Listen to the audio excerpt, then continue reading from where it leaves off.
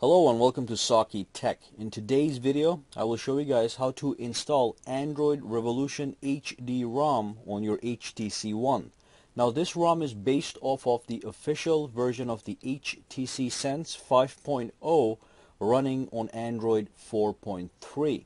So you will get the HTC Sense 5.0 and all its features as well as Android 4.3.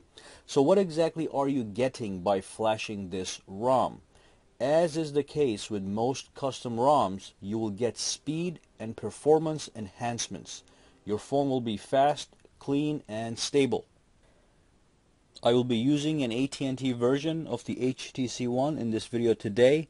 Now this um, ROM will work with all international versions and all US carriers, AT&T, Verizon, whatever except for Sprint.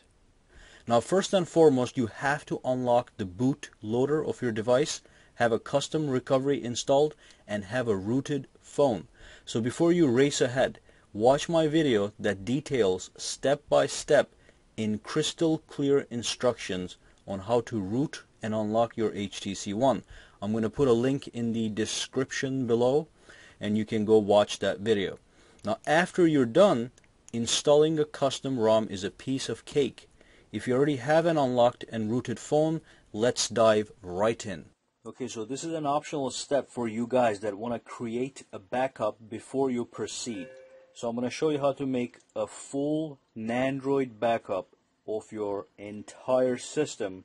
So if anything goes wrong, you can restore whatever you see right here. So I'm going to I'm going to back up this whole thing with all the apps, all the um, text messages, all the photos, all the videos in this phone on this hard drive right here.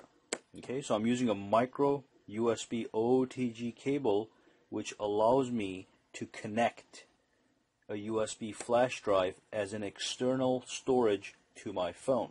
So I actually have a link to a video that explains this whole process so you can go watch that to learn a little more. So what I want you to do for backup is power off this phone and we're going to go into the custom recovery.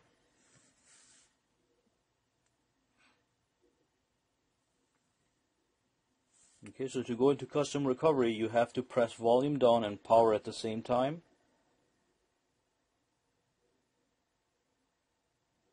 And then you see the uh, boot loader screen, and from here, navigate to recovery using the volume up and down keys, and then press power and that's going to take you into custom recovery.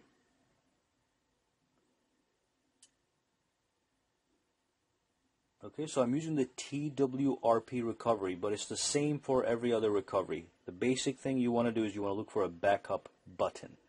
Now, let's go to backup, and what you need to do is you need to make sure at the bottom here it's saying internal storage. In fact, let me zoom in it says internal storage. You want to make sure that goes to, you tap on that, and then you get this menu. And then you choose USB OTG. Okay? And as you can see, my USB OTG cable was recognized, and it tells me how much free space I have. And then you click OK. So now, now the backup will in fact go into this cable right here. So let me do a swipe to backup okay and this is for TWRP if you're using clockwork mod recovery you again you do you have to mount this guy before you can back it up. And the, this is the mounting process here. You tap this and you choose which storage you're going to use. So I mounted the the flash drive to my phone. Press OK and do a swipe to backup again this is an optional step so you can skip this step if you don't want to create a backup and I'll be back once the backup is complete. So once your backup is complete, it's going to say successful on the top, and that means you're good to go. Again, if you want to learn how to use a micro USB OTG cable with a USB flash drive to create backups, uh, go watch that video that's going to be in the recommended watch section on the post on my website. And um, so what you want to do now is you want to reboot the system and go back into the standard Android operating system. Okay, so once you're logged back in, you can actually remove this now, put it aside, and what I want you to do is I want you to go ahead and connect your uh, phone to your computer. Once you connect your phone to your computer, I'm going to switch over to your computer. Make sure your phone is actually open while you're doing all that stuff. So we're going to transfer some files over to the phone. Okay, so there's a link in the description of this video that takes you to this uh, web page on my website. So this is just supplemental information for the YouTube video on how to install Android Revolution HD. Okay, so this is the required task you have to do. Like I said, if you already have it done, you can skip to resources. At the resources, I want you to click Android Revolution HD ROM it is going to take you to the forum of XDA developers and here is the download link. Now this is what it looks like. That's HTC Sense 5.0. It's running on Android 4.3. Now there's a lot going down here. What I want you to do is I want you to scroll down to downloads and just download Android Revolution HD 21.0. And if you're watching this video a couple months down the road, I'm sure the maker of this ROM upgrades frequently. So you may see a little different number. Just uh, go for the one that has the HTC Sense that is based on Android. Okay? And there's a lot of information here regarding the ROM itself. So if you have any questions, they're probably answered here somewhere. So scroll down to downloads and click Android Revolution HD 21.0. That is going to take you to download links. Here you can actually examine the links carefully and you can see what's what. So this is based on Android 4.3. Okay, that's the one on the bottom. And that's based on Android 4.2.2. And then he also has Android Revolution HD based on the Google edition. But this is the one we want today. So click that and the download will start right away. Alright, so make sure that your phone is connected to your computer and what we're going to do is we're going to go to the phone. So go to my computer and here's my HTC One and navigate to the internal storage. Okay, and then go to the file that you downloaded, the Android Revolution HD. So I have it just saved in my folder here. Go inside and take this whole zip file and copy and paste it to the internal storage of your uh, HTC One. And once the copy process is complete, you can actually exit your computer and detach your HTC One from the computer. We're done with the computer. So let's switch over to our HTC One and finish the installation process. Okay, so as you can see, I have disconnected my phone from the computer and let's power this off and go into the custom recovery to complete the installation process. Okay, and then power and volume down at the same time.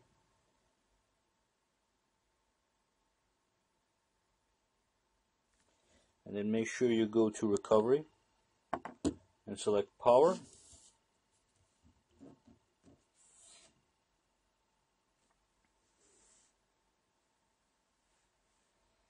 Now anytime before you install any custom ROM, you have to wipe your device clean. So go to wipe and make sure you go to, with TWRP, what I like to do is I like to go to advanced wipe and I like to clean the Dalvik cache, the cache, the data, and the system. Okay? And that guarantees that everything will be gone. With a Clockwork Mod Recovery, you can do a factory reset option and then you have to do a clear cache option. So let's, uh, after you pick all these three guys, just do a swipe to wipe. It's a fairly quick process. And I'm not even worried about doing this because I already have a backup. Okay, so if anything goes wrong, I can go and restore everything I just recently backed up.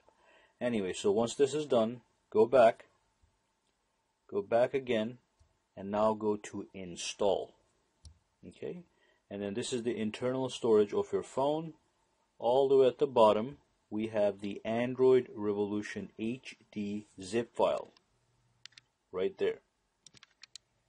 So you want to tap on that and all you want to do is you want to do a swipe to confirm flash. Again, Clockwork Mod Recovery is almost the same. Okay.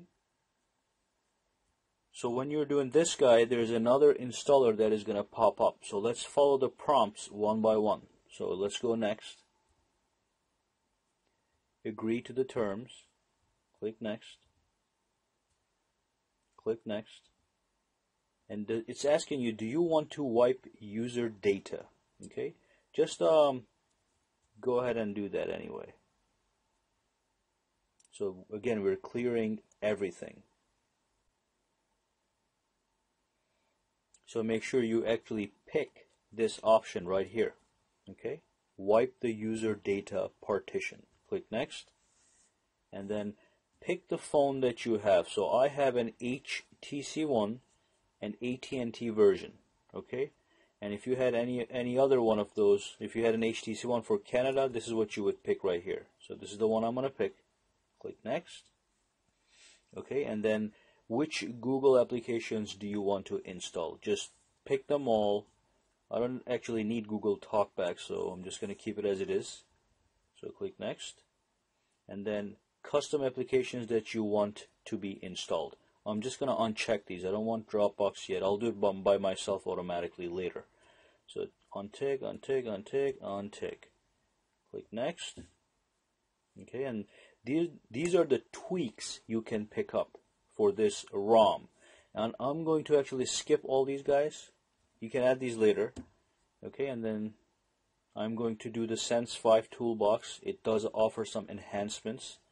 So click next okay and then you're ready to begin the installation install now oops there we go so the installation process starts should be a fairly quick process okay so once the process is complete it's going to say new ROM flashed successfully okay so let's um, click next and then what we're going to do is we're going to click finish and that's going to reboot the system. It's going to actually go back to TWRP or clock, Clockwork Mod Recovery. So swipe to unlock and simply tap Reboot System. Now let's see what we get.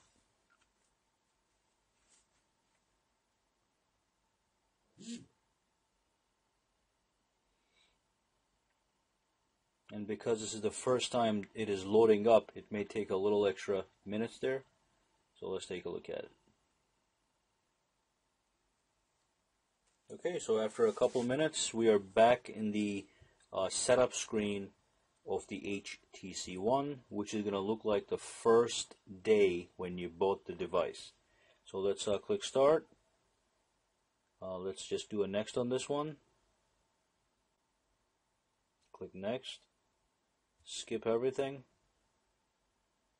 Next. Next. Agree.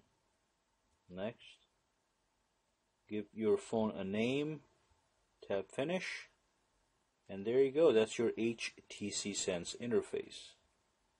And I just want to let you know right away, it is much faster than the original HTC Sense. And that's because it's been tweaked, it's been optimized, so it's fast and it's very, very stable. Okay? So um, let's take a look at the settings here. So go to settings, all the way at the bottom, go to about.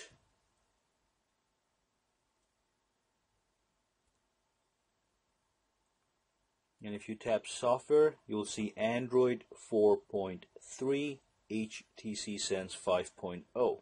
And that's exactly what we want. Alright, so that brings us to the end of this video. Uh, go ahead and subscribe to my channel for more videos to come. Uh, give me a thumbs up if you liked this video.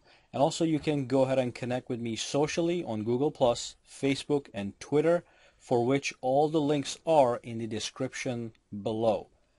Thank you again, and I'll see you the next time. And if you have any questions, comments, concerns, just throw them down in the comments section below.